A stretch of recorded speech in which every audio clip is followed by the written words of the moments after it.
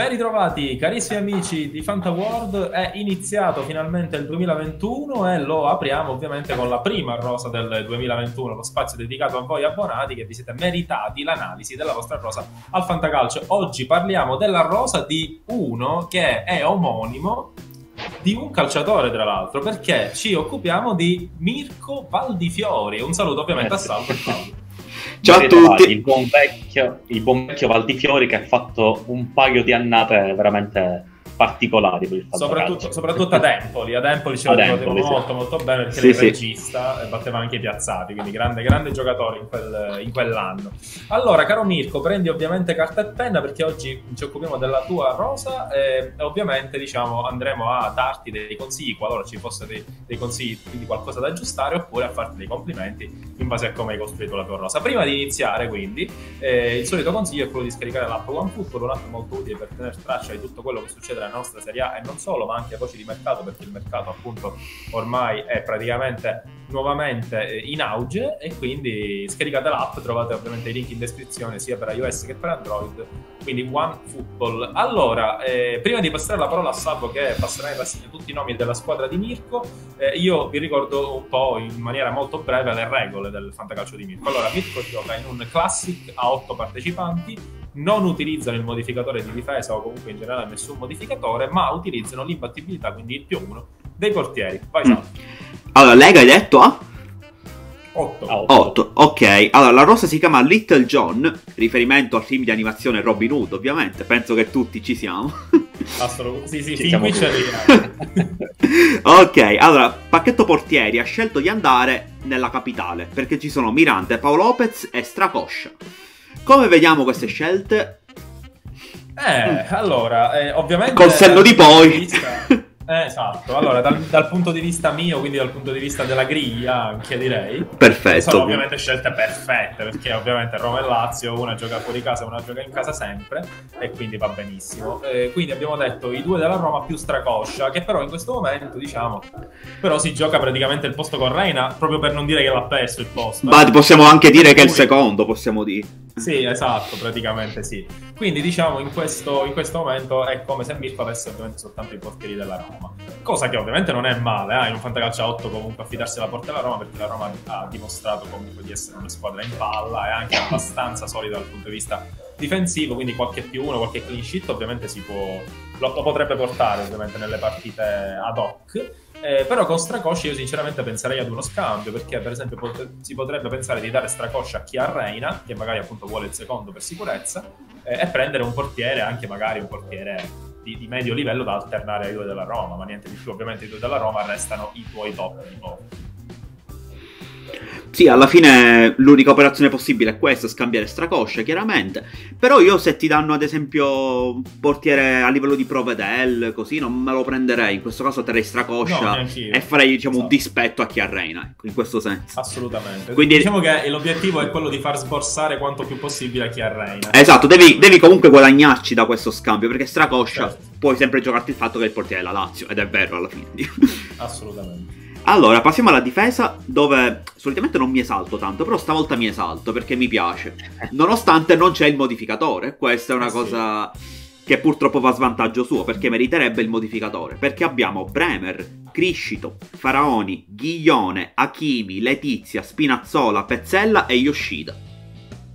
Eh sì, è un, vero, un pe- è un peccato che non ci sia il modificatore, hai detto bene. Però comunque va sempre bene avere dei difensori. Certo, certo.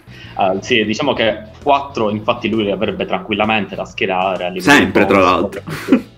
Sempre, Spinazzola e Kimi che sono i super top, e poi Pezzella e Criscito che comunque sono dei semi top. E Faraoni. Faraoni, quindi tanti nomi di, di, buon livello. E poi ci sono anche dei nomi, tra virgolette, low cost, come ad esempio Letizia, che, che basta che siano titolari e, e possono garantire de, de, delle buone prestazioni. Beh, Letizia adesso più che un titolare low cost sta diventando qualcosa di più, secondo me, perché porta buonissime prestazioni, fantamedia alta. Insomma, Letizia è uno che si gioca il posto in questa difesa. A patto che comunque ci sono dei problemi, perché Spinazzola esatto. chi mi li mette sempre, in poche parole. Assolutamente. Sì, la difesa è costruita molto molto bene. Forse penserei addirittura a indebolirmela se il centrocampo non è un granché, perché senza modificatori... Sì, sì, esatto, esatto, esatto. Però il problema è che il senza modificatore vale per tutti, quindi eh, sì. vedere chi vorrebbe dei difensori. Comunque andiamo a vedere certo, il dei difensori buoni. Vediamo a centrocampo. Castillejo, Eriksen, Fares, Hernani, Locatelli, Marin, Pasalic Luis Alberto, Salemakers e Veretù. Ah, quanti sono? 1, 2, 3, 4? Sì, hanno, hanno, la regola di un giocatore in più, eh, diciamo, per il fatto del Covid. C'è la regola ah, di un giocatore in più per reparto. Ok, perfetto. Allora, eh, per quanto riguarda il centrocampo, ovviamente spiccano Alberto e Veretù. Cioè, tu mentre leggevi, io stavo un po' per storcere il naso. Poi hai appena detto Luis Alberto e Veretù. Diciamo che ci siamo sistemati un po'. esatto, ci siamo sistemati abbastanza perché ovviamente rappresentano ovviamente i due primissimi slot. Tra l'altro, anche qui grigliabilissimi anche i centrocampisti, perché ovviamente uno della Roma e uno della Lazio. Eh, tra l'altro, Veretù rigorista, Luis Alberto ovviamente eh, diciamo uomo chiave della Lazio, quindi loro due sicuramente vanno schierati sempre. Quindi sono i migliori per distacco in questo centrocampo.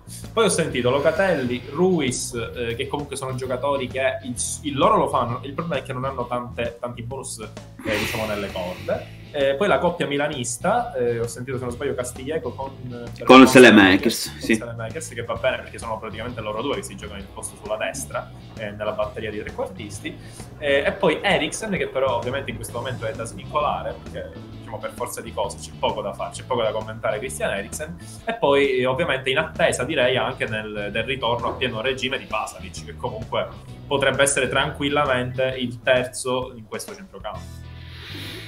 Sì, bisogna vedere con l'attacco cosa possiamo fare. Vediamo in generale. Sì, perché... È un centrocampo che ovviamente oltre Veretù e Luis Alberto potrebbe avere qualcosa. Esatto. Sì. Se non si può fare con la difesa perché magari nessuno vuole i difensori, vedremo cosa fare con l'attacco. Allora, in attacco invece ci sono Berardi, Carles Perez, Cornelius, Geco, Iago Falche, Ibrahimovic, Kalinic, Nestorowski e un ass. Quindi direi che abbiamo Ibra e... Un e Ibra e Geco che spiccano, più tanti giocatori, diciamo, a parte Berardi che è chiaramente un giocatore importante, però tanti giocatori così così. Eh sì. Sì, eh beh, però come hai detto bene, Ibra, Geco e Berardi comunque vanno a comporre un tridente di lusso. Sì. Eh, quindi questi almeno ce li ha, ecco, da schierare praticamente sempre. Eh, l'unica pecca appunto però sono tutti gli altri attaccanti che non sempre possono garantire il posto, ecco.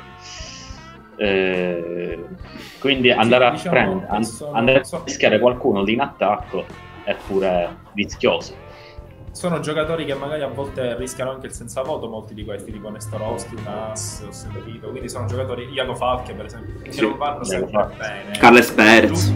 Carles Perez per esempio senza avere Pedro non è granché, quindi eh, in questo caso forse solo Cornelius è il quarto che mi viene in mente, che può essere comunque un titolare oltre ovviamente il tridente titolare, quindi sicuramente è un attacco da migliorare eh, forse non so se, se, dire più del centrocampo, ma in generale direi che eh, purtroppo eh, il sacrificio va fatto in difesa. Cioè io, non so se voi siete d'accordo con me, con quella difesa lì io purtroppo andrei a prendere uno tra Chini e Spinazzola e lo andrei a sacrificare per un attaccante. O anche un centrocampista. O, o per, o... Esatto, o per un sì. centrocampista.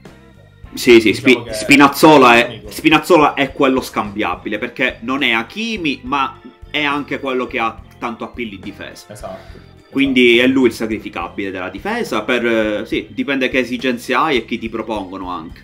Esatto. Quindi bisogna praticamente, diciamo, il consiglio che diamo a Mirko è quello di mettere sul piatto Spinazzola e vedere ed ascoltare le offerte, che sia per un centrocampista o che sia per un attaccante, e poi vedere ovviamente quello che, che può uscirne fuori per andare a migliorare comunque i due reparti che sono fondamentali sì, perché forse lui ha puntato in effetti un po' troppo sulla difesa e non essendoci il modificatore è lì che bisogna andare a sacrificare qualcuno. Esatto. Certo, un attaccante non sarebbe male da avere, perché appunto a parte il tridente poi rischia veramente spesso il senza voto, quindi esatto. un attaccantino ci può stare, però il, un centrocampista anche da terzo slot possibile non sarebbe neanche male, se vogliamo completare sì, il tutto. Esatto. Esatto, quindi bisogna vedere esatto, oppure, o un attaccante da alternare nel suo tridente, oppure appunto un centrocampista da mettere insieme a Luis Alberto Veretù e poi un altro, perché comunque gli altri centrocampisti che ha alla fine giocano perché lo sì, sì. Fabiano Ruiz è titolare, quindi comunque eh, i nomi ce li ha, mentre in attacco rischia per molti nomi senza voto molto spesso, quindi io andrei a migliorare lì.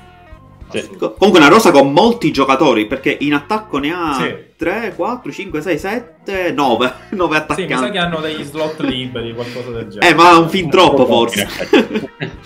sì, sì, c'è tanta, ci sono tanti tanti nomi per il Classic Out, esattamente. Allora, eh, che dire, caro Mirko, noi abbiamo ovviamente analizzato la rosa, speriamo che questo video sia stato utile perché ovviamente eh, l'obiettivo di tutti è quello di arrivare più in alto possibile in classifica per migliorare la rosa eh, e quindi sì, eh, è questo il consiglio, quello di andare a sacrificare ai noi Spinazzola che comunque sta facendo benissimo, ma non essendoci il modificatore diciamo che lo fai forse più a cuore leggero per andare a migliorare il tuo attacco. Quindi ovviamente sul gruppo Telegram scrivici perché se vai ovviamente a proporre qualcosa per Spinazzola noi saremo lì a dirti ovviamente se va bene o non va bene. Perché se va male te lo tieni ovviamente. Esatto, ovviamente sì. Non, non svendiamo i giocatori. No, non si deve spendere.